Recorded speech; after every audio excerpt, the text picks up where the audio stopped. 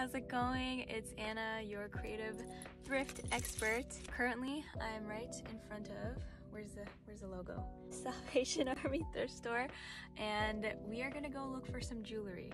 I have just been on this like craze and hunt for some new jewelry. So as you can see i'm like loving you know wearing different kind of earrings.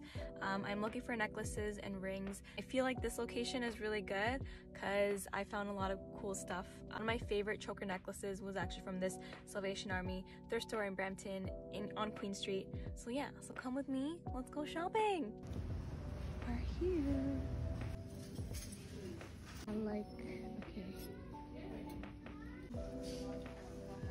I am here. I got a little sidetracked. I found this cool jacket. If anybody knows me, knows I love fur, faux fur, but okay. Let's look at the jewelry.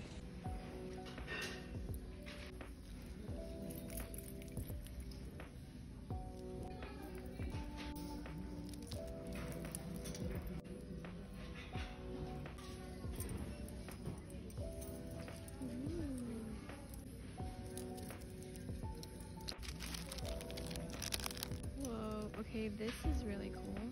I'm loving the deep ruby red. I'm liking this too.